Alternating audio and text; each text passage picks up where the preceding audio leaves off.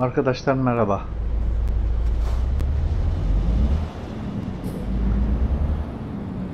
Bugün size kısa bir yolculuk videosu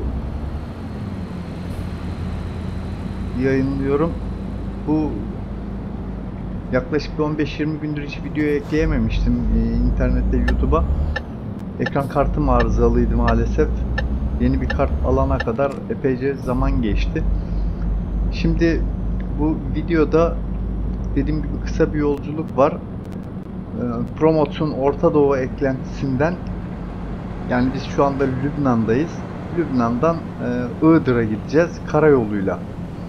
Önce bir size onu göstereyim.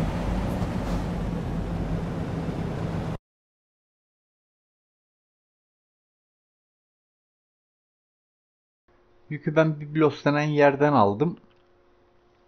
Iğdır'a gidecek bu yük. Ama e, bizi asıl ilgilendiren kısım şurası. Siz bu arayı seyredeceksiniz, izleyeceksiniz sadece.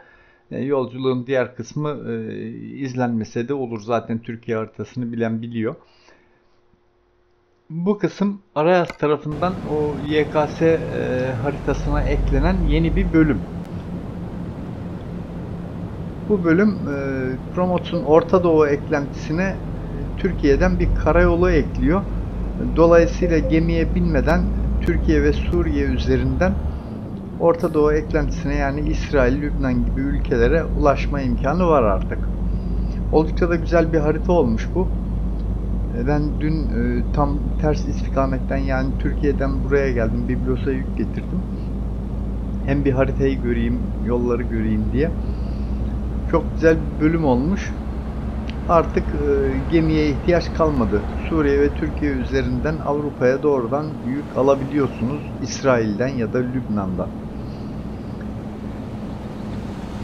Bu arada siz bu yolculuk sırasında hem yolları görürsünüz hem de ben size e, şu yeni aldığım grafik kartından bahsedeceğim.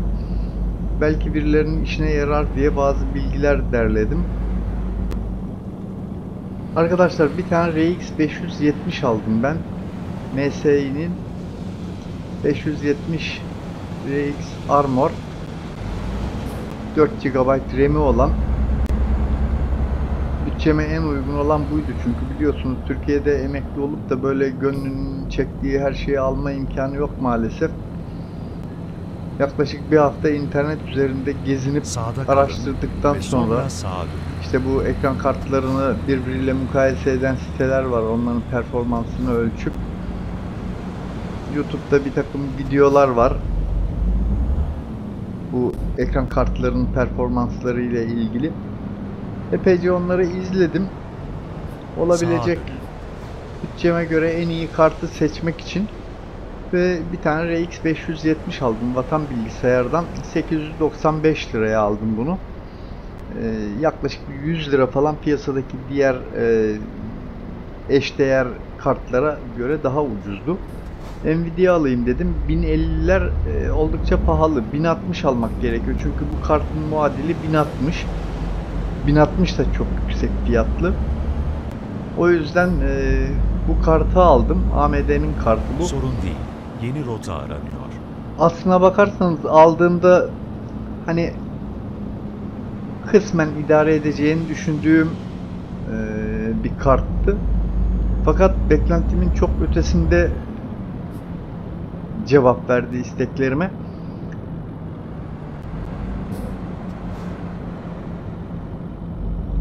Şu anda full ayarlarda her şey full. Full ayarlarda oynuyoruz. Yaklaşık 55 FPS falan alıyor şu anda. Aslında FPS'yi de açayım da bir bakın.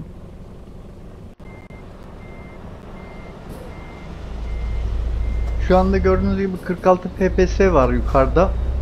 Fakat e, video kaydı yaptığım için video kaydı yaklaşık bir 10 FPS götürüyor maalesef. O yüzden bunu 55 FPS olarak düşünebilirsiniz. Ama dediğim gibi full ayarlarda. Ayrıca bir de e, Reşade kurulu bunda.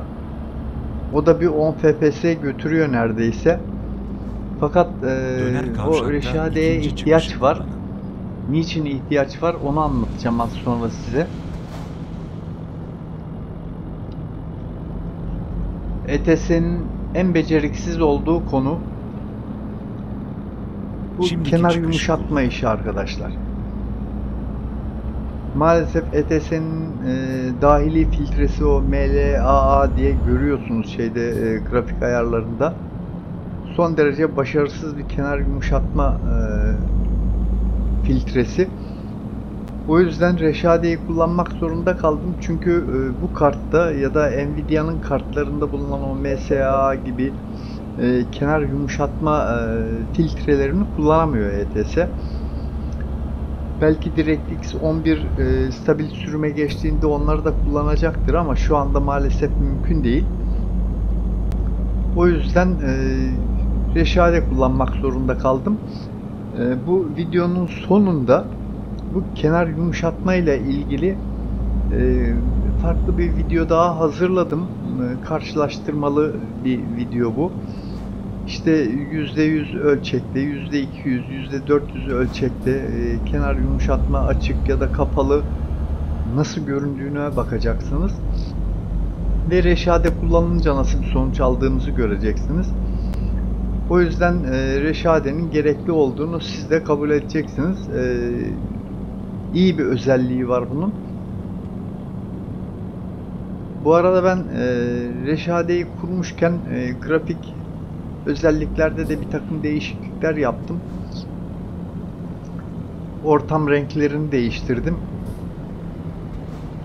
Video açıklamasında bu Reşade'nin e, zip paketini de paylaşırım.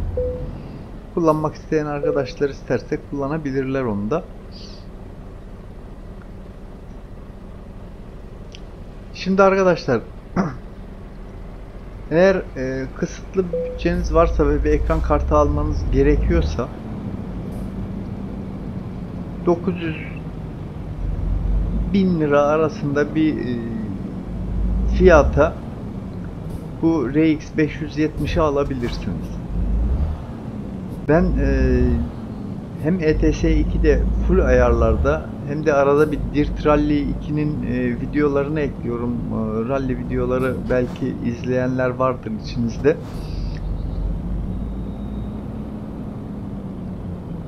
Bu Dirt Rally 2'de de full ayarlarda oynanabiliyor. Full ayarlarda derken şöyle anlatayım size. Mesela bende daha önce GTX 670, 680 vardı. GTX 680'de Dirt Rally'deki e, seyircileri kapatıyordum. İşte o, o oyun sahnesinde seyirciler oluyordu çok miktarda. FPS'yi korkunç düşürüyordu. Ondan sonra e, grafik özelliklerin bazılarını kapatmak zorunda kalıyordum. Parçacık etkisi denen bir şey var. Onu kaldırmak, kapatmak zorunda kalıyordum. Yani işte tozlu bir yolda giderken örneğin arabanın arkasından toz kalkmıyordu ya da suya girince su damlacıkları falan olmuyordu. E, mecburen onları kapatıyordum çünkü FPS korkunç düşüyordu onlar açık olduğunda.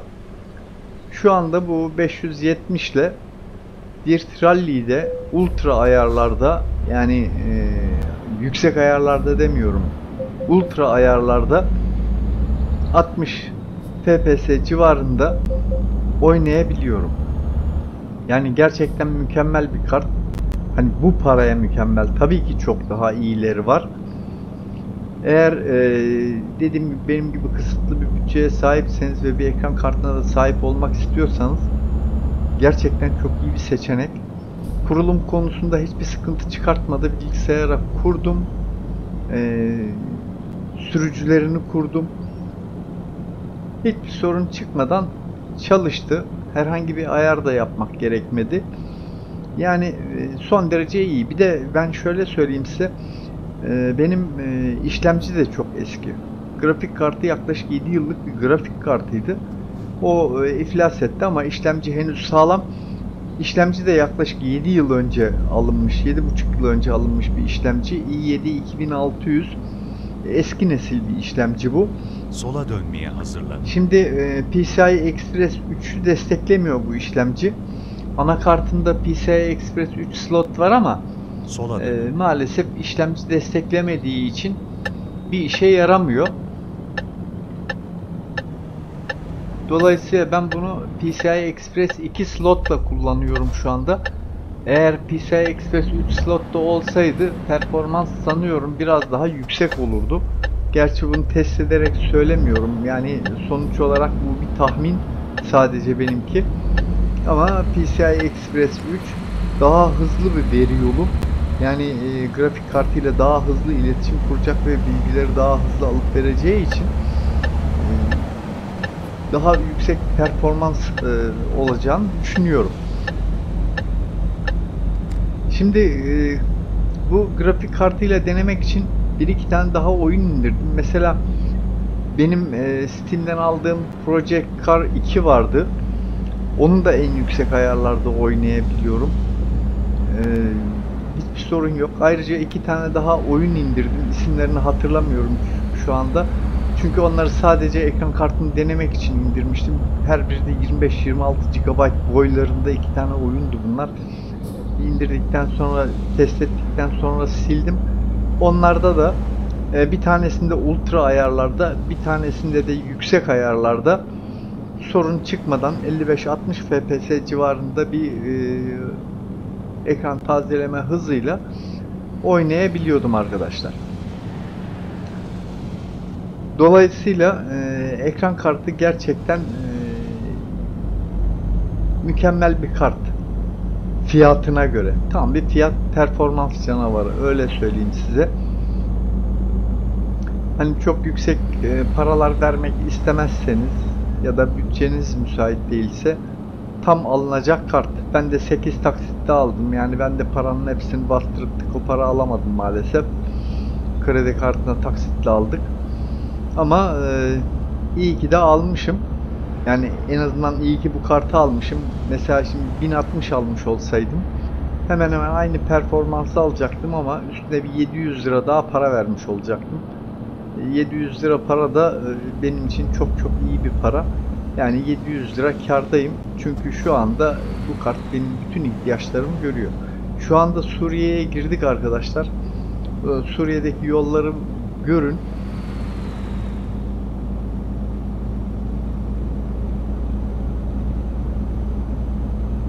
Kısım oldukça güzel olmuş.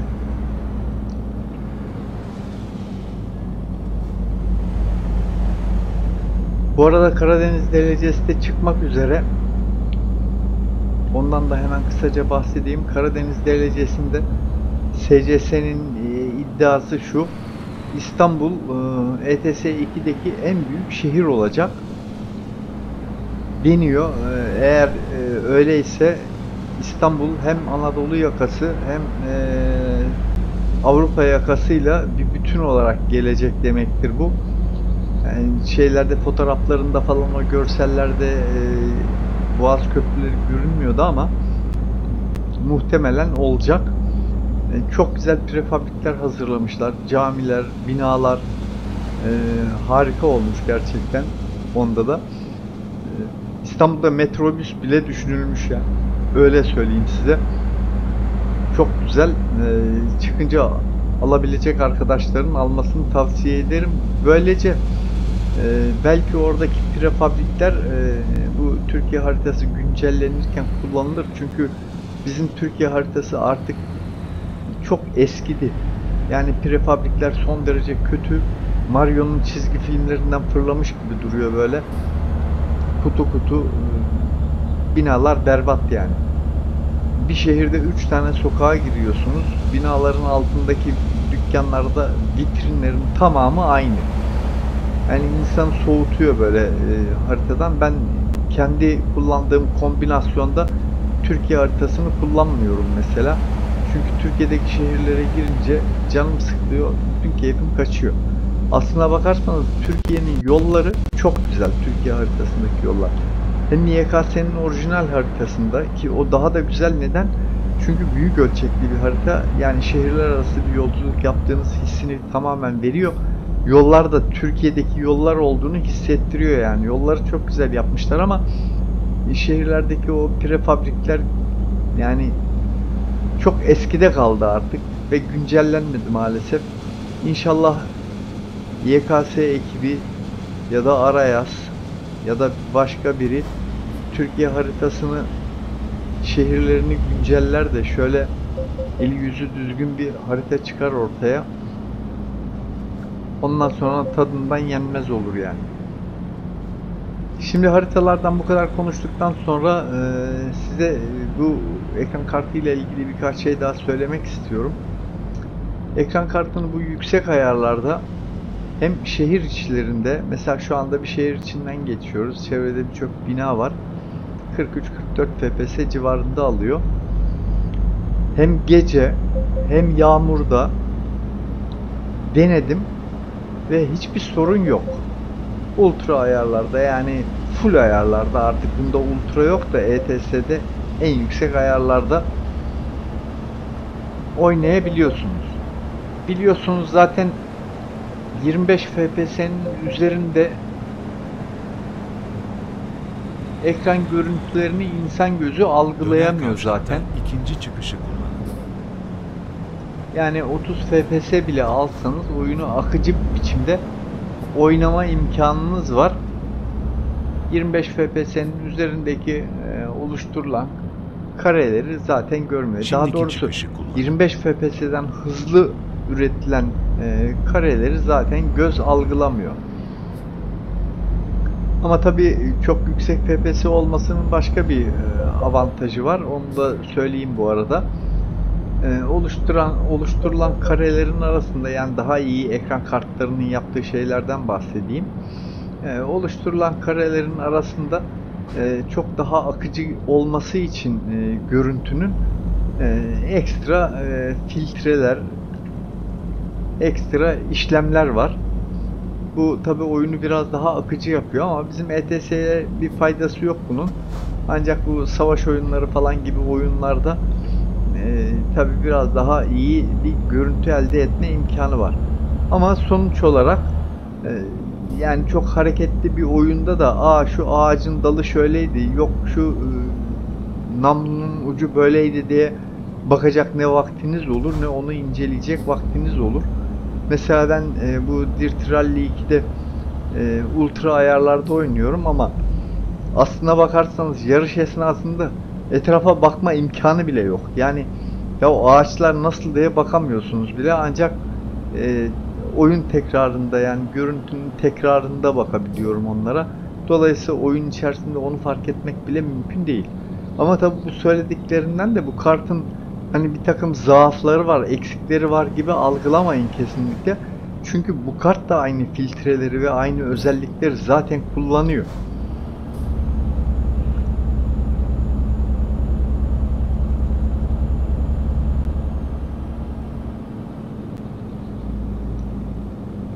Şimdi ben e, kenar yumuşatmadan bahsedeyim size biraz. Kenar yumuşatmanın ne olduğunu e, bilen arkadaşlar vardır mutlaka içinizde. Bilmeyenler için e, ya da şüphesi olanlar için ne olduğunu söyleyeyim.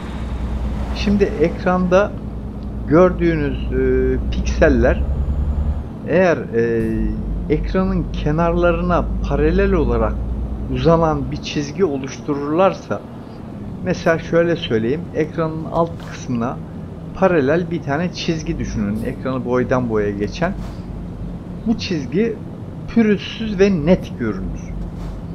Veya ekranın sağ ya da sol kenarına paralel bir tane çizgi düşünün. Ekranda siyah bir ekranda öyle beyaz bir çizgi düşünün. Bu çizgi de pürüzsüz ve net görünür. Ama ekranın örneğin sağ üst köşesinden sol alt köşesine e, beyaz bir çizgi oluştuğunu varsayalım. Bu çizgiyi meydana getiren pikseller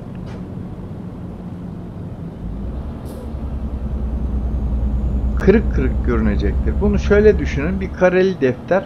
Kareli defterdeki e, bütün kareleri silme imkanınız olsun. Sadece defterin sağ üst köşesinden sol alt köşesine e, birbirine komşu olan kareleri bırakacak şekilde bütün kareleri sildiğinizi varsayın. Ortaya kırık kırık karelerden oluşmuş bir çizgi çıkacaktır. İşte bu bu sorun oyunlarda problem oluyor. Bu sorunun gidermenin yolu da kenar yumuşatma dediğimiz işlem. Anti-aliasing deniyor buna İngilizce. Okunuşunu tam olarak becerememiş olabilirim. Ya da e, bu AMD'nin e, sürücüsünde örtüşme önleme filtresi diye geçiyor. Yani biz kısaca kenar yumuşatma diyelim buna. Şimdi bu kenar yumuşatmanın yaptığı iş az önce o defterde sizin e, bütün kareleri silip de bıraktığınız o e, karelerden oluşan e, köşeden köşeye uzanan çizgiyi düşünün. Oradaki boşlukları dolu gösterecek ya da o karelerin kenarlarını törpüleyip o kırıkların fazla belli olmamasını sağlayacak bir yöntem bu. Böyle olduğunda görüntüler biraz daha net ve e, kırıksız görünüyor. Daha gerçekçi görünüyor. Şimdi az sonra göreceksiniz. Şu sınırı da geçelim. Türkiye'ye geldik çünkü. Artık yolculuğa fazla devam etmenin anlamı yok sizin için. Sınırı geçtikten sonra arabayı çekelim bir kenara. Size diğer video ile ilgili de bilgileri vereyim ne demek istediğimi daha iyi anlayacaksınız orada. Bu Reşade ile ilgili dediğim gibi bir zip dosyası hazırlayacağım. Yalnız bu şimdi 64 bit için hazır. Ben çünkü 64 bit kullanıyorum. 64 bit kullananlar e, bunu yükleyebilirler. Nasıl yükleyeceğinizi bilmiyorsanız videonun açıklamasında onunla ilgili de kısa bir bölüm olacak.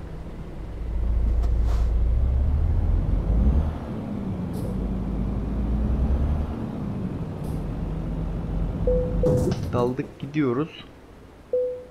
Kapıları kıracaktık az daha.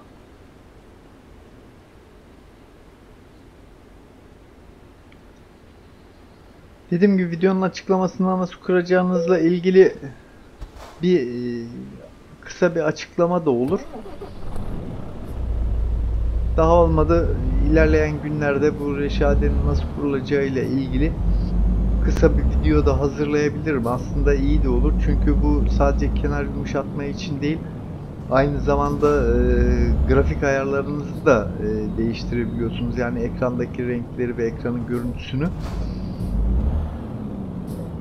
Hatta kendi grafik ayarlarınızı yapıp kendi beğendiğiniz şekilde e, ayarlayabilirsiniz. Onu da gösteren bir video hazırlayabilirim birkaç gün içinde belki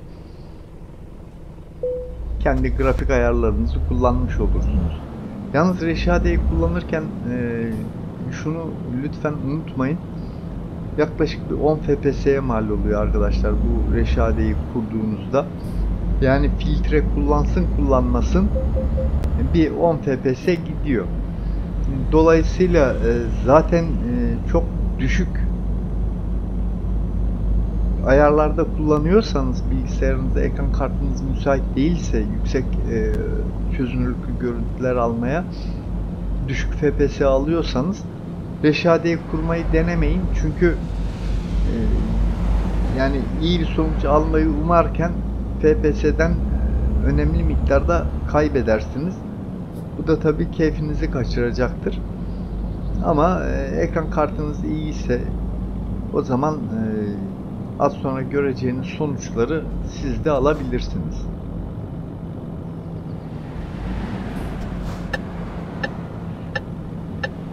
Şimdi ben size önce ekran ayarlarını, şey grafik ayarlarını bir göstereyim bu şu anda oynadığımız oyunun.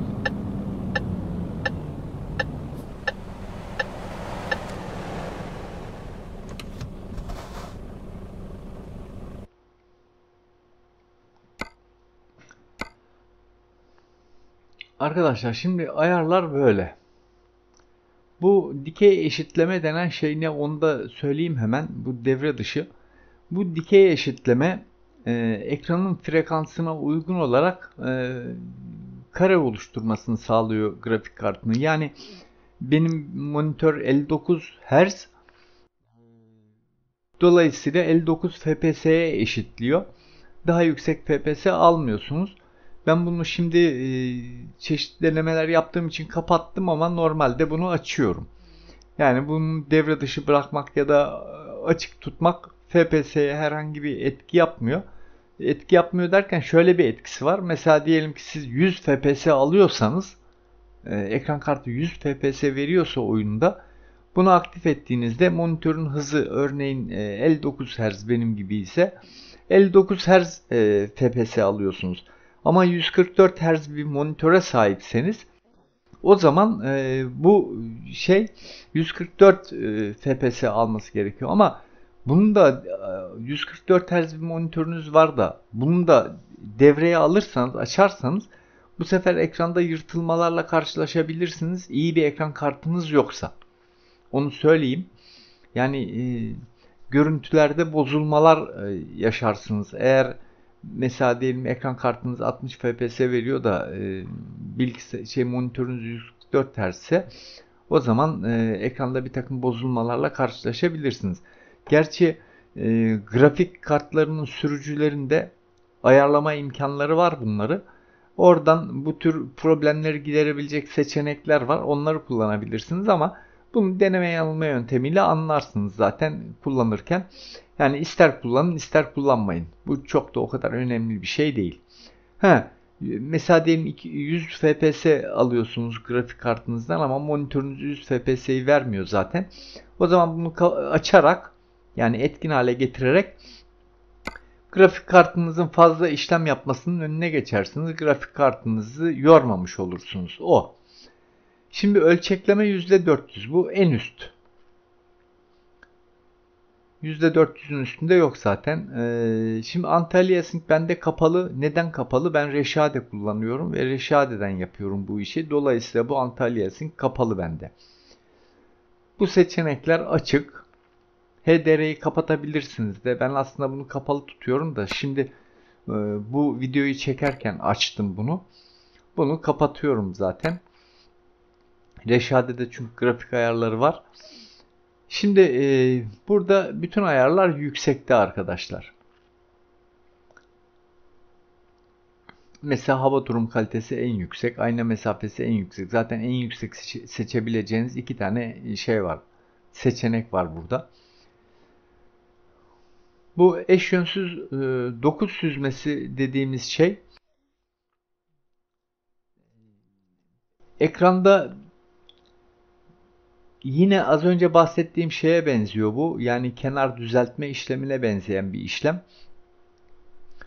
Ekranda kenarlara paralel olmayan e, eğik pikseller varsa mesela diyelim yolda gidiyorsunuz. Yol bir viraj var yolda. Ortadaki yol çizgileri bu virajlı kısımlarda bulanık hale geliyor. İşte bu eş yönsüz dokuz süzmesini açarsanız bu eş yönsüz dokuz çizmesi bu şeyi yapıyor. Bu, bunu düzeltiyor. Ben bunu da kapattım çünkü bu grafik kartı ayarlarından yapılıyor bu. Diğer ayarlar e, yani hepsi açık işte. Olabilecek en yüksek ayarlar ETS 2'de. DX11 gelince nasıl olacak bilmiyorum.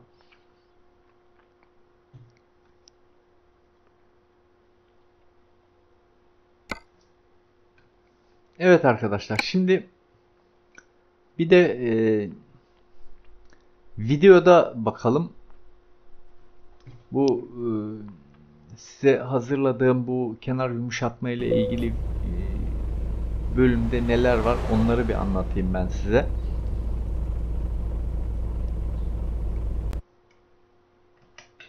Şimdi arkadaşlar ölçekleme %100 anti-aliasing kapalı.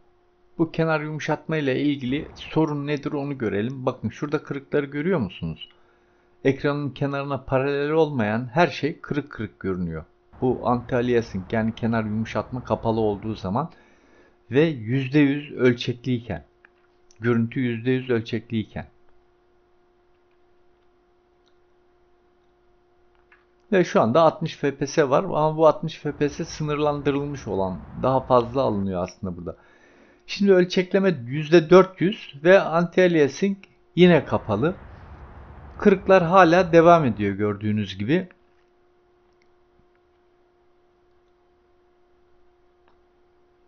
Bu %100 ile %400'ün ne olduğunu da anlatacağım az sonra. Şimdi 2 FPS düştü. 58 FPS'ye indi. Bu durumda %400 yaptığımızda. Kırıklar gördüğünüz gibi devam ediyor.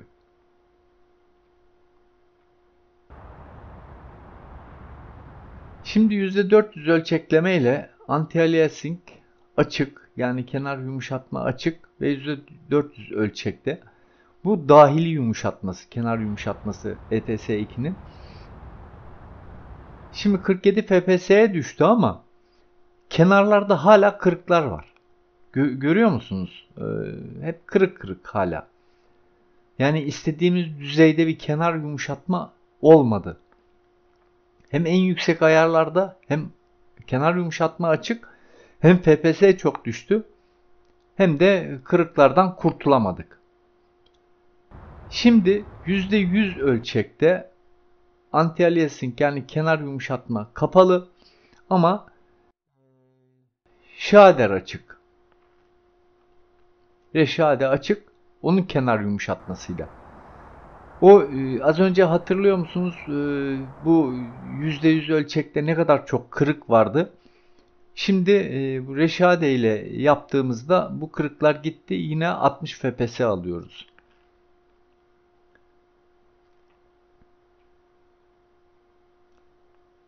Ama kırıklar var hala. Şimdi %400 ölçekle bakalım. Burada kenar yumuşatma kapalı ama Reşade'nin kenar yumuşatması açık. Şimdi kırıklara dikkat edin. Kenarlara. Hiçbir kırık göremiyorsunuz. Yok şu anda herhangi bir kırık. Her şey gayet düzgün. Ve 44 FPS alıyoruz. Az önce ETS2'nin dahili kenar yumuşatmasıyla %400 ölçekte 47 FPS alıyorduk. Şu anda 4 FPS kaybımız var. Ama her şey pürüzsüz. Fakat bitmedi. Bu daha da düşük olacak. Şimdi %300 ölçekle bakalım. Kenar yumuşatma kapalı, reşade açık. Bakın %300'e indirdiğimiz halde kenarlarda kırıklar yok. Ve yaklaşık 50 fps alıyoruz. Bundan çok daha kötü bir görüntüyle ETS'nin yerleşik kenar yumuşatmasıyla 47 fps, 46 fps alıyorduk. Şu anda %300 ölçekli yaptığımız ve e, şeyde 50 fps alıyoruz. Şimdi %200'e getirip ölçeklemeyi Reşade'yi bir de öyle deneyelim. Yine her şey çok düzgün. Kenarlar çok düzgün. Arabanın kadranı da düzgün. Ve 57 fps alıyoruz. Yani ETS 2'nin en iyi ayarlarından 10 fps fazla alıyoruz. Ama ondan çok daha kaliteli bir görüntü alıyoruz. Şu anda mesela Reşade'yi kapattım. Kırıkları görün. Şimdi açtık. Kırıklar gitti. Durum bu arkadaşlar. Kenar yumuşatma, yumuşatma dediğimiz şey bu. Bir de gündüz gözüyle bakalım. Şu anda reşade kapalı.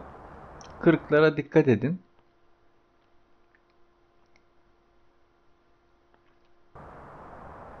60 fps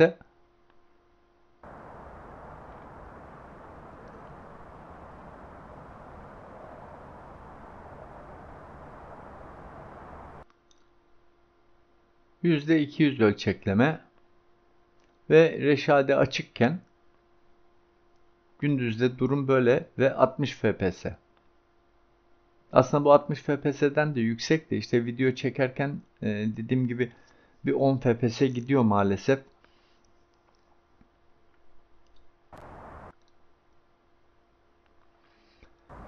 Durum bu arkadaşlar. Kenar yumuşatma işinde e, bir sorununuz varsa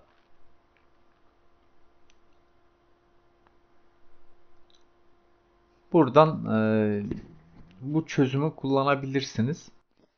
Oldukça e, iyi bir görüntü alırsınız kırıksız, pürüzsüz bir görüntü olur bu.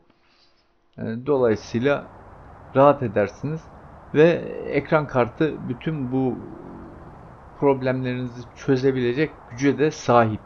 Yani RX 570 bütün sorunları çözebilecek güce sahip. Bütün e, şeyler bu kadar arkadaşlar. Grafik ayarlarıyla ilgili de e, yolculuk sırasında gördünüz zaten. Belki onunla ilgili de bir video yaparım. Şimdi HDR'yi kapatmışken de bir grafik ayarlarını bir görün isterseniz. Yani bu Reşade'deki e, renklerle ilgili değişiklikleri görün. Şimdi Reşade'yi bir kapatalım. Normalde ETS 2'nin HDR kapatılmış görüntüsü bu. Reşade'yi açtığınız zaman benim yaptığım ayarlar bunlar. Bu ayarları yapmak için de epey uğraştım arkadaşlar. Çünkü kırmızı ve mavide e, bir takım sorunlar oluyor renklerle fazla oynayınca ve kahverengi çok bozuluyor. Gördüğünüz gibi benim arabanın iç mekanının rengi kahverengi. Benim kullandığım e, arabada Wolf Skin de kahverengi.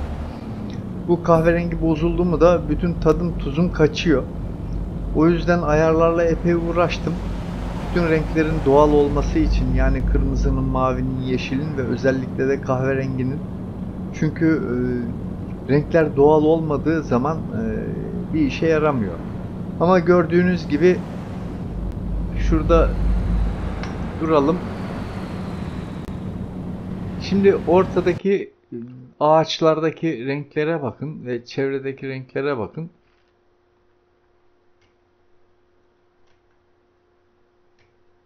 Çok fazla yeşil böyle botanik bahçesi gibi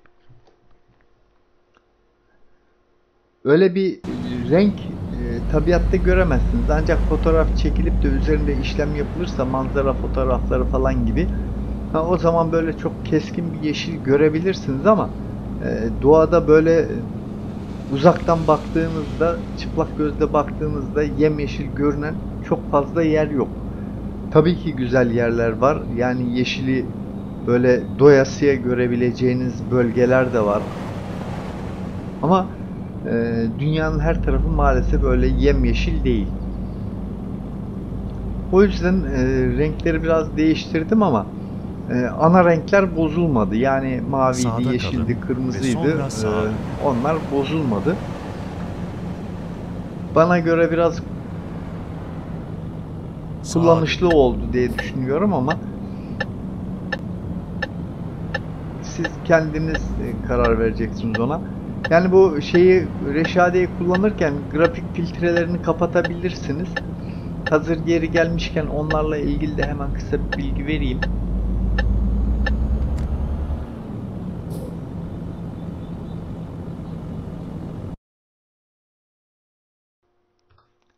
Reşade'de kullandığım filtreler bunlar arkadaşlar. Şu kenar yumuşatma filtresi bir. Şu da bir kenar yumuşatma filtresi. Renk filtreleri şunlar. Bakın.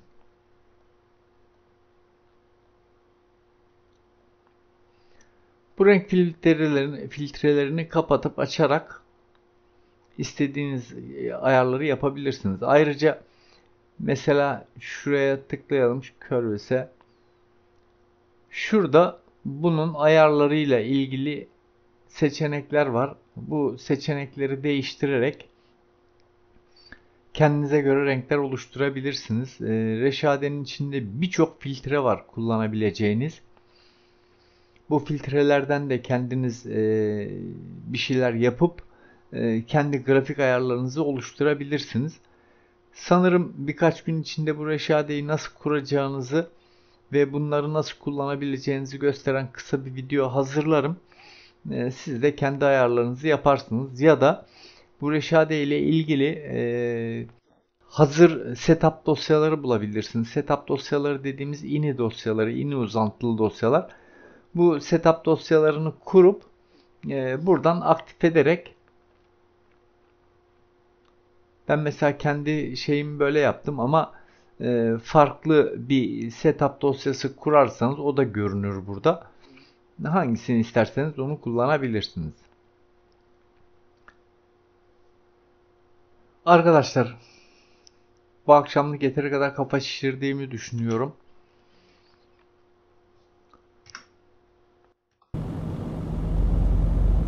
Ben yolculuğa devam edeyim. Siz de kendinize iyi bakın. Umarım birinin işine yarar anlattığım şeyler. Aslında günlük olaylardan da konuşacak ülkemizde çok sorunlar var ama maalesef bütün insanlar aynı görüşte olmadığı için burada bir tartışma yaratmak istemiyorum. O yüzden de günlük siyasi olaylara da girmek istemiyorum. Aslında konuşmaya kalksak günlerce sürecek konular var. O yüzden e, böyle tek konularda konuşabileceğim bir şey olursa